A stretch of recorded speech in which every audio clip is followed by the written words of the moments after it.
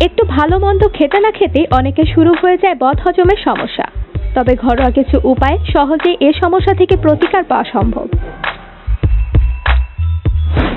বদহজম, বমি বমি ভাব, পেট ফোলা, অ্যাসিডিটি সহ নানা হজমজনিত রোগের দুর্দান্ত প্রতিকার আদা।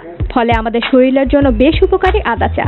পাশাপাশি ডাল, ছোলা, রাজমা, সোয়ার মতো খাবারগুলোতেও আদা দিয়ে খেলে বেশ ভালো ফল পাওয়া যায়। খাওয়ার পর মৌরি চিবিয়ে খেলে হজম প্রক্রিয়া ভালো হয়। মৌরি গ্যাস ও ফোলাভাব কমাতে সাহায্য করে।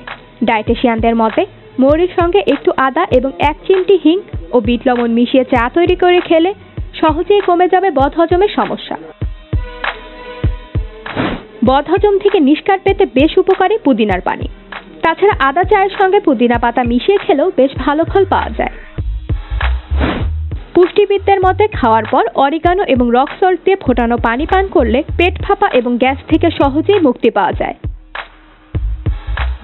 অনেকের ধারণা কোল্ড ড্রিঙ্কস বা সোডার মতো পানীয় গ্যাস দূর করে। তবে এ ধরনের পানীয়তে মূলত বেড়ে যায় গ্যাসের সমস্যা। বরং বদহজম থেকে রক্ষা পেতে বেশ উপকারী হালকা গরম পানি। সারাদিন পর্যায়ক্রমে উষ্ণ পানি পানে বেশ উপকার পাবেন বদহজমের রোগীরা।